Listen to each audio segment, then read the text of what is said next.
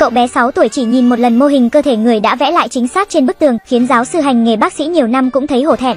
Nhưng tài năng thiên phú về y học lại suýt nữa bị mai một cho đến một ngày nọ anh ta bỗng gặp phải một cậu bé bị tấm biển chỉ dẫn rơi xuống người ngất xỉu.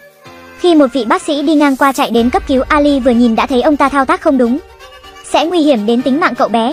Chỉ thấy Ali đi đến cầm tay bác sĩ đó di chuyển đến chỗ khác cậu bé lập tức thở lại nhưng nguy hiểm vẫn còn. Rất nhanh anh đã phán đoán ra được vùng ngực của cậu bé bị mảnh kính đâm vào. Chỉ với mắt thường để nhìn mà trong đầu anh xuất hiện những chi tiết tổn thương bên trong. Anh nhanh chóng nghĩ đến việc phải tìm dụng cụ để cứu chữa. Thế là chạy đến chỗ bảo vệ mượn một con dao nhỏ, nhân viên bảo vệ thấy dáng vẻ khù khờ của anh nên không cho. Thấy không mượn được Ali bốc một con dao dọc giấy chạy đi, nhân viên bảo vệ đuổi theo, mới chạy vài bước đã bị bắt lại, may mà mẹ cậu bé chạy đến giải thích. Không thể chậm chế anh bắt đầu cứu chữa thành thục làm ra một van một chiều, sau đó dùng dao dọc giấy làm phẫu thuật. Thao tác nhanh nhạy khiến những người chung quanh chụp ảnh quay phim. Khi Ali đưa khí từ van một chiều vào trong lồng ngực cậu bé cuối cùng đã thở lại bình thường, nhờ vậy mới có thể đưa cậu đến bệnh viện cấp cứu. Và khi mọi người vỗ tay tán dương anh đã cứu được cậu bé thì bệnh viện nơi anh đến phỏng vấn đang tranh cãi một cách kịch liệt có nên tuyển dụng Ali không? Cho dù giáo sư Adin đã hết lời thuyết phục nói Ti Ali mắc chứng tự kỷ nhưng anh lại có khả năng tổng hợp học giả mà 10% người trên toàn thế giới có, vì thế được gọi là thiên tài ngốc nghếch. Nhưng cuối cùng những cổ đông chỉ mang đến lợi ích kinh tế đều đồng loạt phản đối. Và cậu bé vừa được Ali cứu đang được đưa vào bệnh viện này, Ali bỗng phát hiện nhịp tim của cậu bất thường nhưng máy điện tâm đồ lại không có gì lạ. Chỉ tin vào chỉ số trên máy nên nhân viên y tế không bận tâm lời của Ali, do đó sau khi đưa vào bệnh viện, Ali cứ liên tục nhắc bác sĩ phải làm siêu âm tim. Nhưng bác sĩ nhìn thấy chỉ số điện tim bình thường bèn gọi bảo vệ giữ anh lại đừng để làm loạn. Ali lo lắng sẽ chẩn đoán sai nên muốn vào trợ giúp ai ngờ lại bị bảo vệ đưa ra ngoài và cảnh cáo anh đừng nhiều chuyện.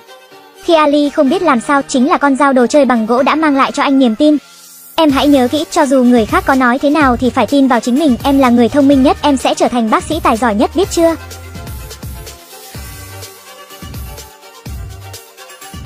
Lúc này một đám phóng viên xông đến bệnh viện Ali nhân lúc đó trà trộn vào và lúc này cuộc phẫu thuật đang được tiến hành. Bác sĩ Furman phát hiện van một chiều mà Ali chế ra. Kinh ngạc với việc không có máy móc phụ trợ mà có thể phán đoán chính xác tình hình bệnh. Anh ta muốn biết người đó là ai nhưng không ai trong bệnh viện biết cả chính lúc này Ali bất chấp các y tá ngăn cản xông vào phòng phẫu thuật. Furman thấy vậy bèn ra lệnh lôi anh ra ngoài Ali liên tục nhắc nhở Furman phải làm siêu âm tim. Còn lúc này bên ngoài đám phóng viên đang đến tìm Ali để phỏng vấn. Họ đều tưởng Ali là bác sĩ trong bệnh viện và video Ali cứu sống cậu bé được nhiều cư dân mạng thả like. Chủ tịch bệnh viện sau khi biết chuyện cho rằng đây là cơ hội tốt để bệnh viện nâng cao danh tiếng thế là đã triệu tập cuộc họp các cổ đông quyết định tuyển dụng Ali. Cùng lúc đó Furman đang làm phẫu thuật bỗng gặp khó khăn, anh ta bất giác nhớ lại lời nhắc nhở của Ali. Tò mò hỏi anh chàng lúc nãy rốt cuộc là ai. Cùng lúc đó các cổ đông vẫn đang tranh cãi kịch liệt về Ali, chỉ có giáo sư Adin đứng ra bảo đảm là nếu Ali phạm sai lầm thì ông sẽ tự động từ chức. Có giáo sư Adin bảo đảm mới bịt được miệng những người phản đối, đồng thời cuộc phẫu thuật cũng rất thành công. Khi Phép Nam muốn hỏi thăm về chuyện cấp cứu trước đó thì người mẹ mới chỉ về phía Ali đang vừa bỏ đi. Furman lập tức đuổi theo, anh ta rất tò mò Ali làm sao chẩn đoán được cậu bé sẽ xảy ra chuyện. Ali nói những cái đó đều xuất hiện trong đầu anh. Khi nói chuyện Furman cũng biết Ali đang đến đây để phỏng vấn nhưng lúc này anh ta vẫn chưa thể chấp nhận một bác sĩ bị tự kỷ và sự thành kiến càng lúc càng sâu hơn. Một ca phẫu thuật khó đang đợi Furman nhưng trợ lý Natalie ở bên cạnh cứ thao thao bất tuyệt về cách phẫu thuật khiến anh cảm thấy phiền bèn đuổi cô ra ngoài. Natalie bực tức đi ra ngoài vẫn không ngừng lẩm bẩm về ca phẫu thuật Ali ở bên cạnh vừa nghe đã hiểu rõ tình hình thế là anh đã gợi ý cho cô cách giải quyết khả thi. Natalie được nhắc nhở quá kích động nên đã cầm tay Ali cảm ơn, rồi nôn nóng chạy đi nói cho Furman biết.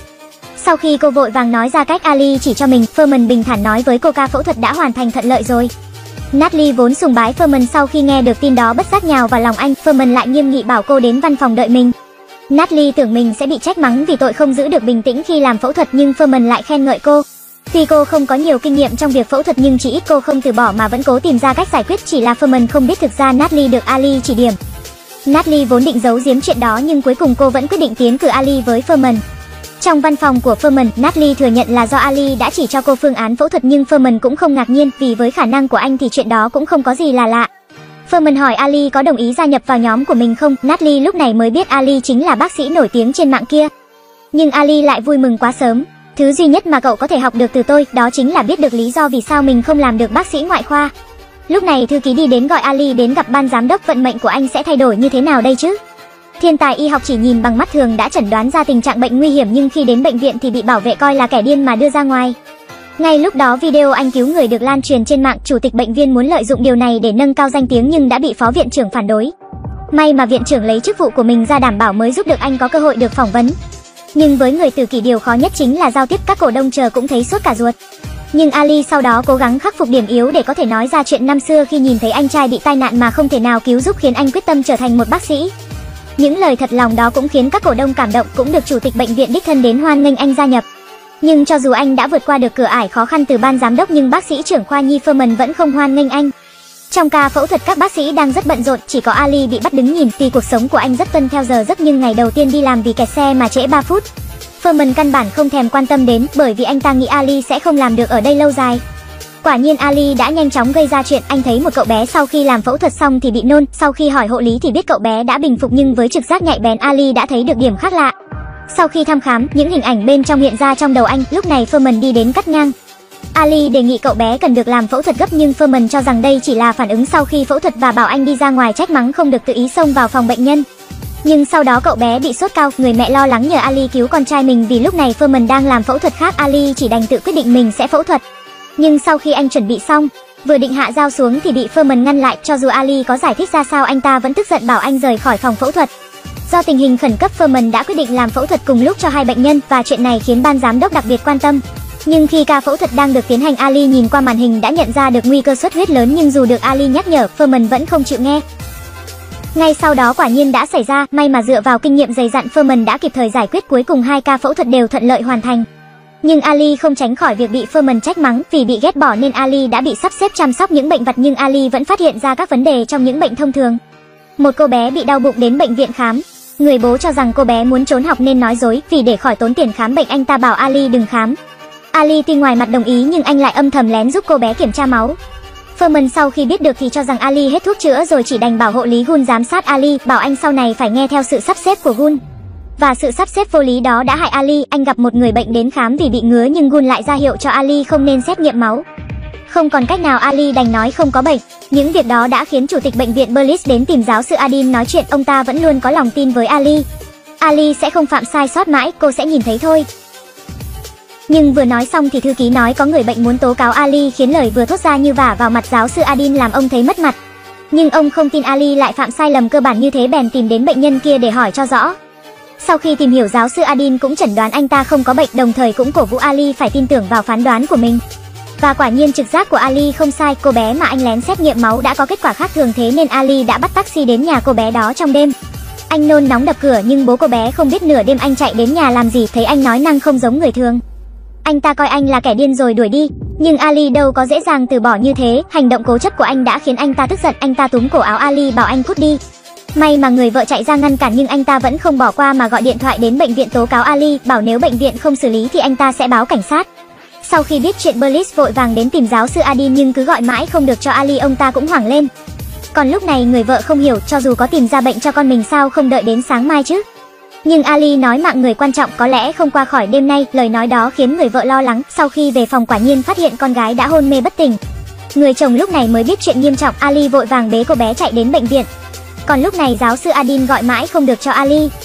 Berlis chỉ đành phái người đi xử lý, điều này có nghĩa là không còn cơ hội cho Ali nữa. Còn giáo sư Adin không thể hiểu được lý do, lẽ nào mình đã nhìn nhầm người sao nhưng lúc này ông lại cảm thấy mắc nợ với Ali, tự trách mình không nên đi theo nghề y, đồng thời cũng chủ động nói sẽ thực hiện lời hứa sẽ từ chức. Lúc này trên đường đến bệnh viện, các chức năng cơ quan của cô bé đang yếu đi. Bố mẹ cô bé đều suy sụp, may mà Ali đã cố gắng làm hồi sức cấp cứu cho cô bé. Khi Ali cùng cô bé chạy vào phòng cấp cứu, khiến các hộ lý đang trực cũng sửng sốt, họ không biết tên điên này sẽ còn làm ra chuyện gì nữa đây. Nhưng rất nhanh dưới sự điều động của Ali đã gấp rút chuẩn bị phẫu thuật. Còn bên này Berlis cũng không nỡ để giáo sư Adin từ chức nhưng ông đã viết xong đơn từ chức. Khi hai người đang ôm tạm biệt thì điện thoại của giáo sư đổ chuông, sự việc đã có sự chuyển biến. Bên này Ali đã chuẩn bị xong xuôi để làm phẫu thuật, đây là ca phẫu thuật đầu tiên khi anh đến đây làm việc. Nhưng khi anh chuẩn bị hạ dao xuống, Furman lại đến ngăn cản tuy không chỉ trích như trước nhưng vẫn ra lệnh cho Ali ra ngoài. Chính lúc này phó viện trưởng Tanju lại đứng ra nói giúp cho Ali. Ali không ngờ người ban đầu phản đối anh đến đây lúc này lại giúp mình được ở lại phòng phẫu thuật. Anh không biết âm mưu đằng sau chính là ông Tanju muốn lợi dụng sai lầm của Ali để ép giáo sư Adin từ chức còn nếu Ali thành công thì ông ta cũng được hưởng tiếng là giúp đỡ người tài. Hy vọng và áp lực đều dồn vào Ali, lúc này giáo sư Adin chạy đến để tìm hiểu tình hình. Cuối cùng ông đã nở được nụ cười hài lòng, cậu ấy sẽ trở thành bác sĩ thực thụ. Do đó ông không cần phải rời khỏi bệnh viện rồi.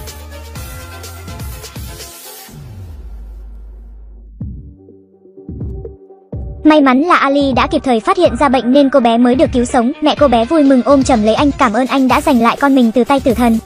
Và Furman ở bên ngoài nhìn thấy cảnh đó, tuy hai lần phẫu thuật của Ali đều bị anh cắt ngang nhưng thông qua sự khảo nghiệm đã dần dần khiến anh thay đổi cách nhìn về Ali. Nhưng hôm sau Furman lại giao cho Ali nhiệm vụ rất khó khăn, Natalie không hiểu vì sao Furman lại cứ làm khó cho Ali.